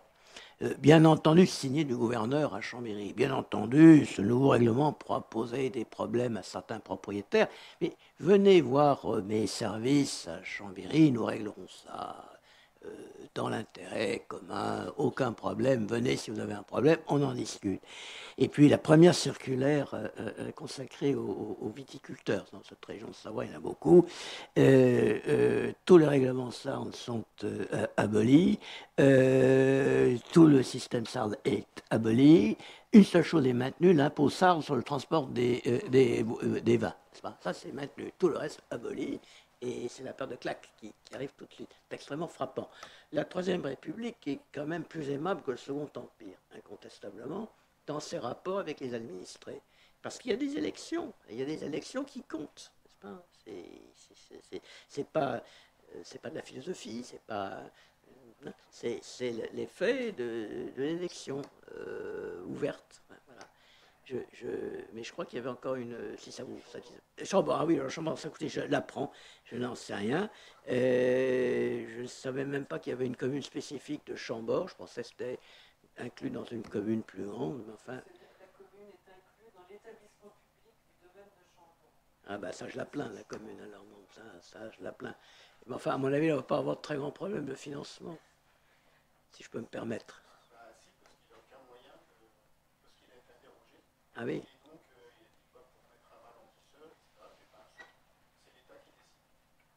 il y en a des ralentisseurs, je peux vous dire, je passe euh, très régulièrement par là, il y en a, hein, mais enfin bon. bon, ben écoutez, on, transmettra. Oui, oui, il y avait, je vous en prie, oui, on peut poser.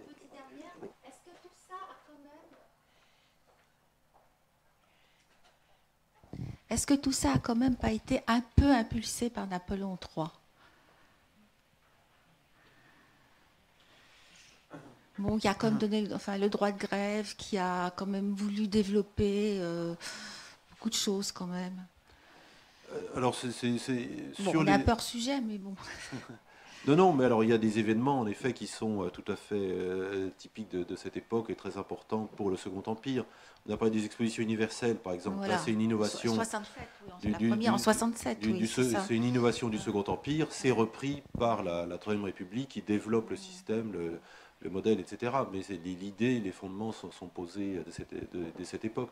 Le libéralisme douanier dont on parle, donc évidemment, le fameux traité de libre-échange avec l'Angleterre, même si euh, il y a des corrections qui sont apportées euh, sous la, Troisième République, le tarif Méline, euh, comme il était dit par certains fonctionnaires, comme par exemple Chapsal, dont on parlait, le directeur du, commerce et de l'industrie, il dit pour lui, entre 70 et 14, la clause de la nation la plus favorisée a entraîné un régime baissier général. Donc on a malgré tout une tendance qui est au développement des échanges. Et les économistes qui parlent aujourd'hui de la première mondialisation, c'est-à-dire d'une époque durant laquelle la part des échanges extérieurs dans le total de la production est très importante, donc euh, euh, parle de cette période pour la, période avant 14. Donc il y a des tendances de fond euh, qui sont impulsées par le Second Empire, là où, à mon avis, on peut être quand même un peu plus, comment dire, voir une forme de rupture ou de, mise en cause, c'est pour ce qui concerne la législation sociale, en particulier une législation sociale qui est adoptée à la toute fin du Second Empire avec la création d'une caisse d'assurance en cas d'accident et d'une caisse d'assurance euh, pour les, retraites. Et euh, donc ces, caisses ne fonctionnent pas en fait. Hein.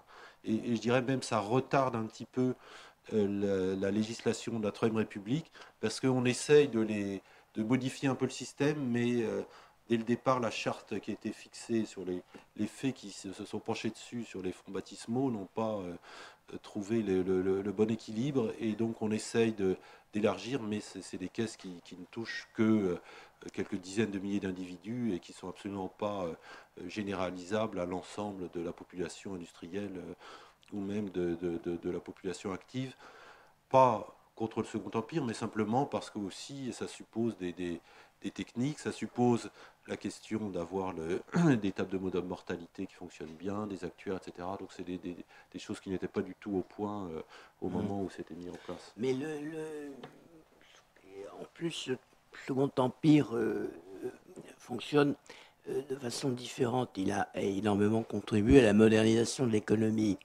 Mais on est à une autre période gérée par d'autres moyens. De certaine façon, ce que vous avez rappelé, la monarchie de juillet, annonce davantage la Troisième République, me semble-t-il, que le Second Empire tant que tel. Quels ont été les instruments économiques du Second Empire? D'abord, une politique gigantesque de grands travaux.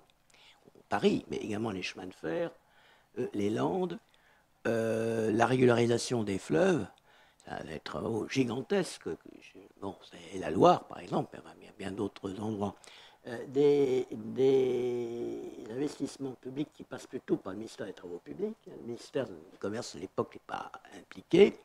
Euh, ça, c'est toute une série de choses tout à fait euh, essentielles, plus la création de toute une série d'institutions, y compris d'ailleurs dans le domaine, disons, scientifique, savant. Bon, ça, a commencé par la, bibliothèque nationale telle qu'on l'a connue. Mais deuxième grand axe de réforme, qui est absolument fondamental et a tout euh, euh, changé, c'est le, droit des sociétés, la création des sociétés par action à responsabilité euh, limitée. Enfin, donc, c'est justement sans responsabilité. Hein. c'est qui changeait tout. Avant, avant euh, même les sociétés à commandite, les commanditaires euh, avaient une part de responsabilité. Bon. Euh, là, la possibilité d'avoir des actions, on perd l'action, mais on n'est pas responsable sur ses biens pour le reste de, déficit, si vous voulez, de manque. C'est une transformation absolument essentielle, qui a été d'ailleurs très discutée à l'époque. bon, la Troisième République livrée à elle-même, je ne suis pas absolument certain, si ça n'avait pas existé quand ces gens-là sont arrivés au pouvoir, je ne suis pas certain que Gambetta aurait été favorable, euh, s'il n'avait pas existé avant lui, hein, un statut de société tel qu'il a été défini sous le Second Empire. Et on pourrait euh, multiplier les exemples. Donc, le Second Empire a certes beaucoup fait, mais sur des orientations il est assez différentes de ce que la Troisième République a fait. Évidemment, la conjoncture économique n'est pas la même. Hein. Jusqu'en vers 1895, elle est, elle est très mauvaise, en fait, relativement mauvaise d'une part, il y a beaucoup moins de grands travaux. D'autre part, les grands travaux, euh, les grands investissements, ils sont votés par le corps législatif, euh, étant donné qu'il est élu euh, de façon quand même, disons, assez unilatérale. Ça ne pose pas les mêmes problèmes que l'Assemblée de la Troisième République. C'est pour ça que nous avons insisté tous les deux sur le fait que la Troisième République est un véritable régime parlementaire plus grand respect pour le Second Empire. On ne peut pas le qualifier, sauf tout à fait à la fin, euh, quand même de régime parlementaire. Donc euh, le souci de l'électeur, des pressions locales, euh, certes elles existent, mais elles se manifestent autrement. Elles se manifestent par un patronage, par des influences directes, éventuellement de corruption, tout ce que vous voulez, mais pas de la même façon que dans un système parlementaire à élection totalement ouverte, ce qui est le cas de la Troisième République. Je pense que ça répond à la, question. Hein. Et pour, euh, pour, pour, compléter, donc sur la question des grands travaux, par exemple, là, il y a une vraie remise en cause au début de la Troisième République, avec après le plan Fraissinet, donc euh, après le crack de l'Union Générale, on s'aperçoit qu'on n'a plus la possibilité d'emprunter et de financer un peu ces, grands travaux.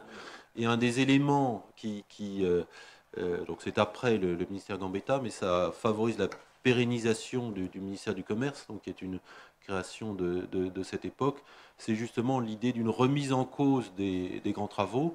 Et donc les républicains qui ont bien vu que euh, ces grands travaux avaient quand même profité à un certain nombre de, personnalités, de familles, de capitalistes et autres, etc., euh, qu'ils critiquent par eux-mêmes, donc euh, veulent mettre en place une autre politique qui soit plus, centrée, plus adaptée aux besoins réels des industriels, aux besoins réels des commerçants, qui vont créer de l'activité euh, parce que avec ce, ce crack de, l'Union générale, avec ce contexte économique euh, difficile, eh bien, ça rebat, ça rebat complètement les cartes. Et donc, il faut trouver d'autres d'autres idées. Et les grandes opérations immobilières, Paris, mais aussi bien d'autres villes, enfin, elles ne sont plus possibles. Elles sont plus possibles parce qu'elles ont soulevé trop de scandales. Mais je pense que monsieur avait encore.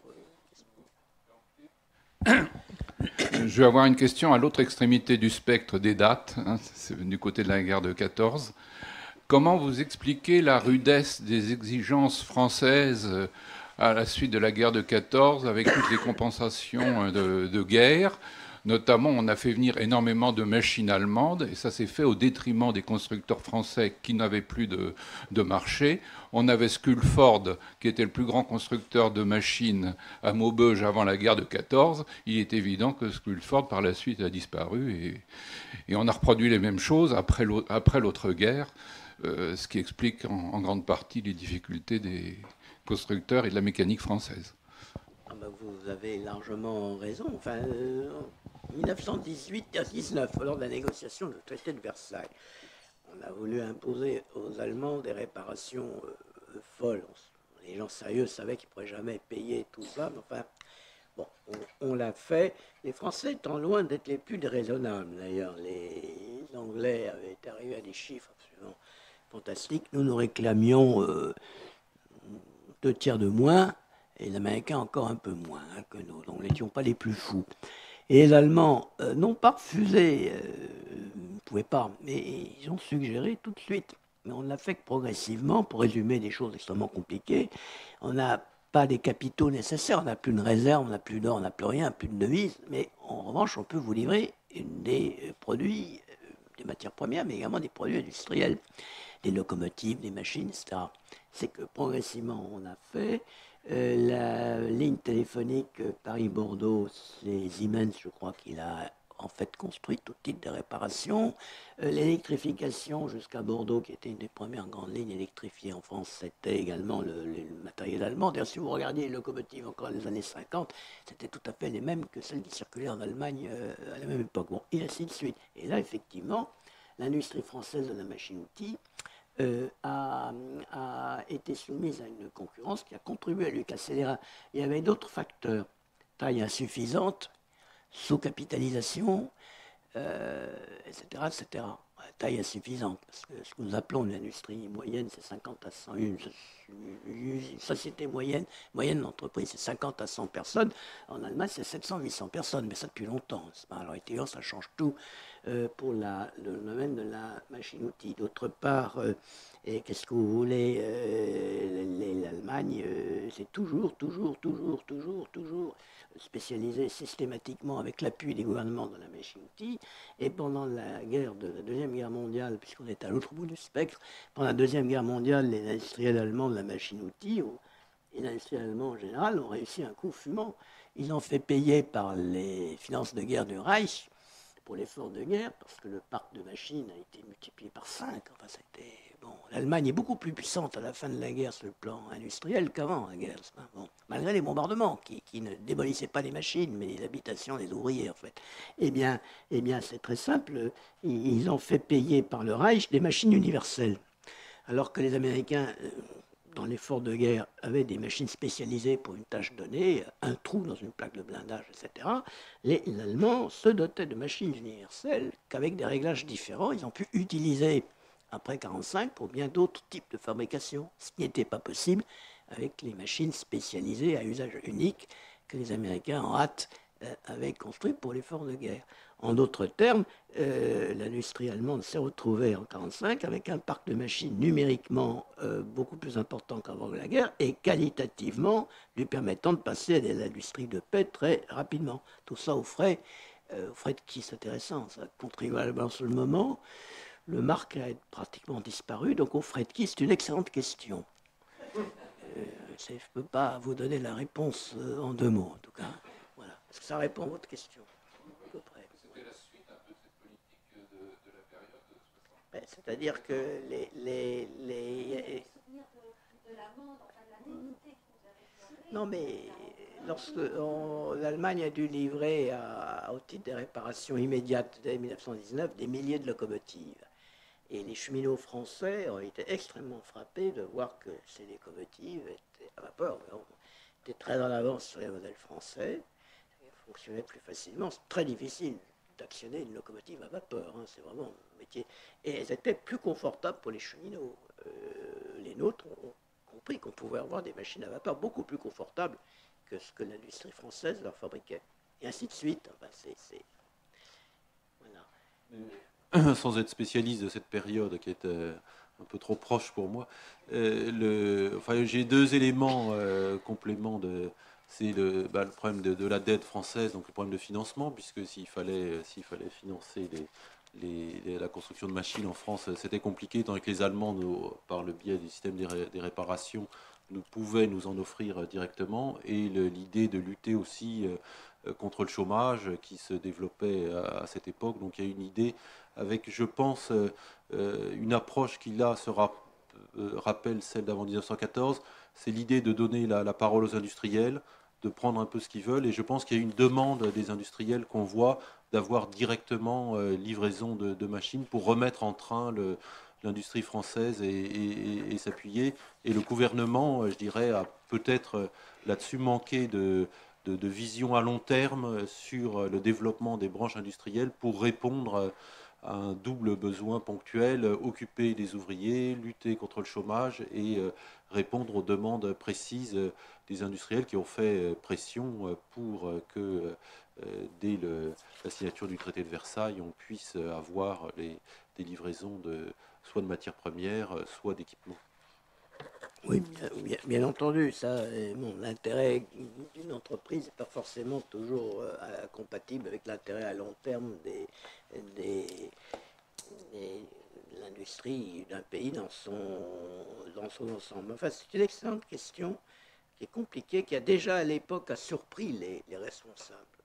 Les fabricants français de machines, en particulier Rato, turbines, Rato, extrêmement présents personnellement, hein, dans toutes les commissions, sous-commissions euh, où on discutait de ces questions, comment euh, faire pour renforcer la machine-outil, enfin l'industrie de la machine-outil en France après la guerre. Et, il y avait des plans, il y avait des projets. Le ministre de, ben, pendant la guerre, c'est Clémentel, hein, qui est le digne successeur de tous ceux que vous avez évoqués dans la droite ligne, consacrait d'énormes efforts à, ça.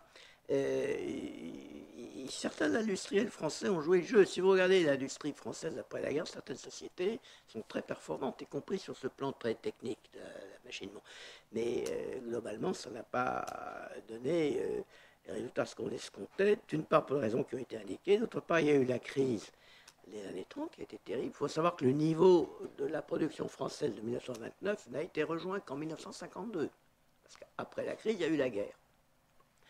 Donc quand vous avez 29-52, euh, vous avez, vous avez pratiquement 25 ans d'arrêt, d'investissement. Hein. Voilà. S'il n'y a pas d'autres questions, et si le public est épuisé. Merci infiniment à nos conférenciers.